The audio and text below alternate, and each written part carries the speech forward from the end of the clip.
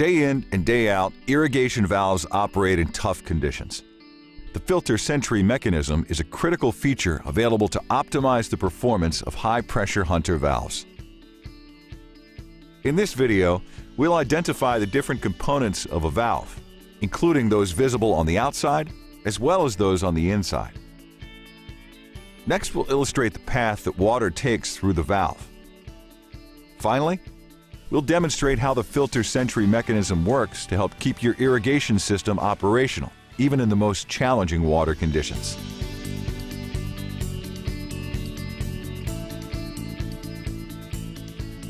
The ICV valve is our most popular valve for larger irrigation systems. This forward flow valve has several key features that make it an ideal choice for demanding projects. Before we move on, let's cover some basic facts. There are two basic types of irrigation valves, forward flow and reverse flow. Hunter valves are designed to accommodate a forward flow in which water flows up from under the valve seat in reverse flow valves, water flows over the valve seat. There are advantages to both types, but forward flow valves are generally better in low flow installations. Install the valve properly into the piping system in an easy access valve box. Use waterproof connectors to wire the valve to the controller.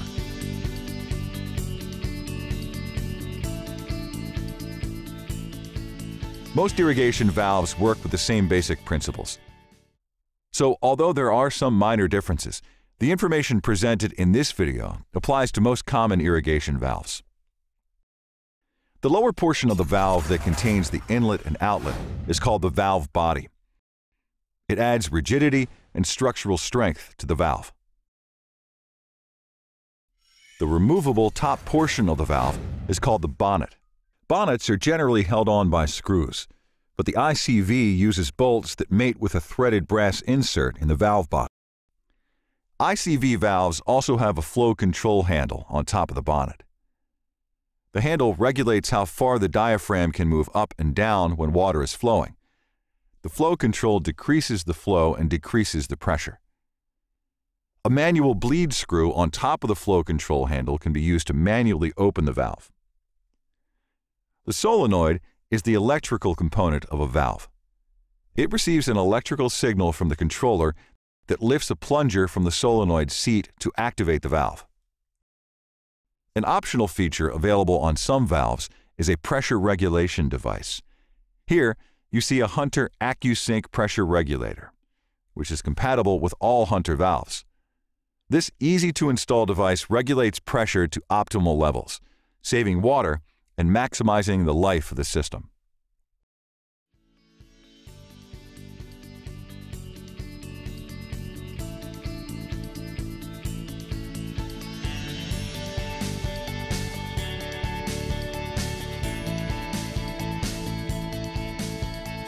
If we cut the valve in half lengthwise, we can examine the internal components.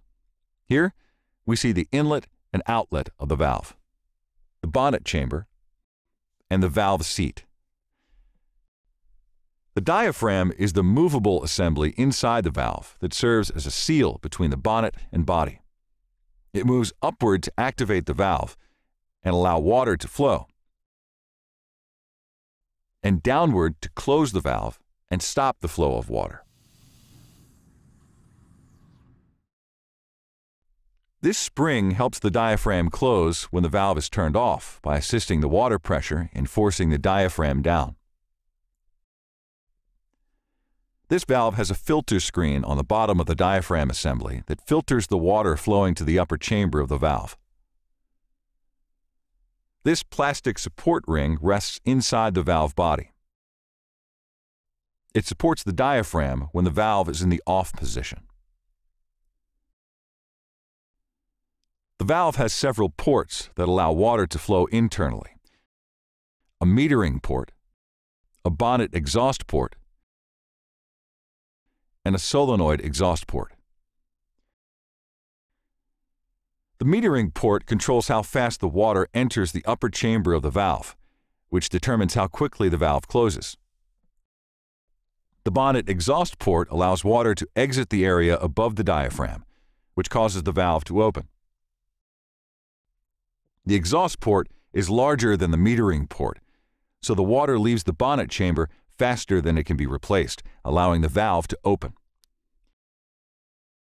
The solenoid exhaust port allows water to enter the downstream piping when the solenoid is activated.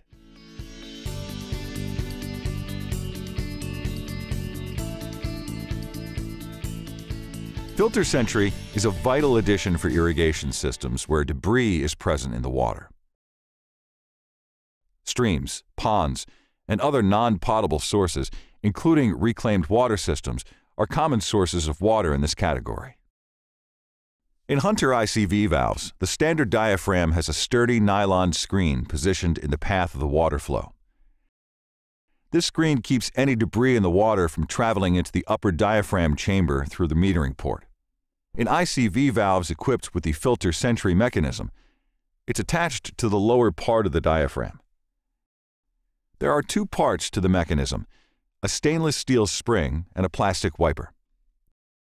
They surround a robust stainless steel filter screen. Filter Sentry comes standard on all brass Hunter IBV valves, due to the heavy-duty conditions where these valves are usually installed. Although Filter Sentry can be ordered factory installed on any Hunter ICV valve, it can also be easily retrofitted as needed in the field by purchasing a new Filter Sentry diaphragm assembly.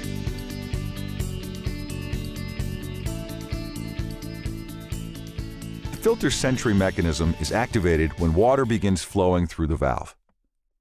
When the valve opens, the water pushes upward on the mechanism, causing the spring to compress and enabling the wiper to scour the surface of the stainless steel screen.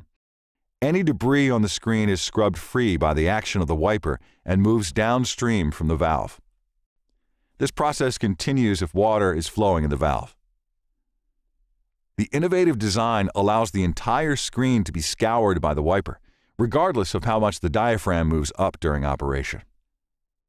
When the valve closes, the wiper returns to its original position.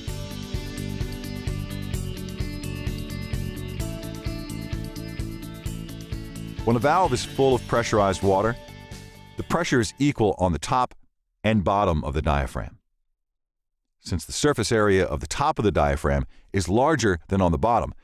More force is applied on top to keep the valve closed. What causes a valve to open? When the controller sends an electrical signal to the solenoid, it creates a magnetic field that draws the metallic plunger up off the solenoid seat. This allows the water that's on top of the diaphragm to exit the bonnet chamber and flow through the exhaust ports toward the downstream piping. This makes the pressure on top of the diaphragm lower than on the bottom, allowing the diaphragm to lift off the valve seat and opening a path for the water to flow through the valve to the piping system. Hunter valves can also be opened manually by turning the solenoid a quarter turn counterclockwise to lift the plunger off the seat. The bleed screw on top of the flow control handle can also be used to evacuate the water externally from the bonnet chamber, allowing the valve to open.